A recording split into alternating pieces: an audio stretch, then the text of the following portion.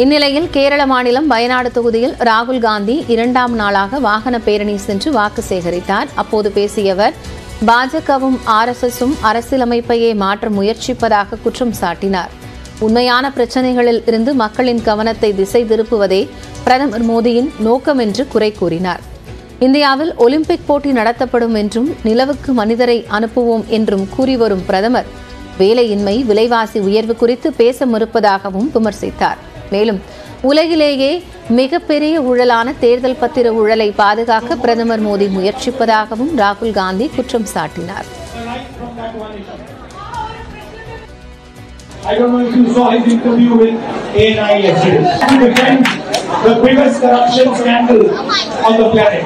Someone bond scheme through which BJP, BJP has got thousands of crores of rupees by extorting them from India's business.